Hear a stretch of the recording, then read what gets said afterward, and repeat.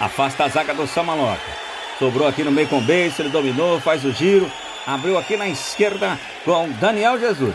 Ele carrega, lá vem a equipe do Samaloca. Olha só, que três dedos sensacional. Bateu, rebateu, sobrou. Olha o chapéu, olha o gol! Golaço!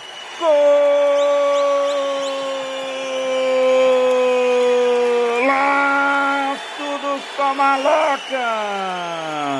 Batata recebeu!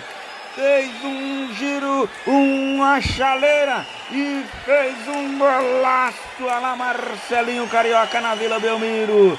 Aqui no campo do Confibra, ele, batata, você é diferenciado. E que jogada e que golaço do garotinho! Ele recebeu o lançamento do Daniel Jesus Fez uma chaleira e que jogada! Ela ainda resvalou ali no Davi e ele chapelou a zaga.